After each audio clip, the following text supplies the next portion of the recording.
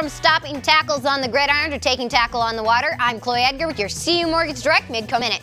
Parkston, South Dakota's native Riley Reiff traded his pads for fishing poles for a recent charity event. The Minnesota Vikings offensive lineman was at Lake Poinsett to reel in some fish at the Celebrity Walleye Classic, which is a fundraiser for the Boys and Girls Club of Sioux Falls. It's usually a fun time. People people are here to, you know, you know it's fun. Um, you know they're trying to catch a lot of fish, but at the same time it's uh, you know it's benefiting a good cause, and uh, you know a lot of good people showed up, so it's fun to be here.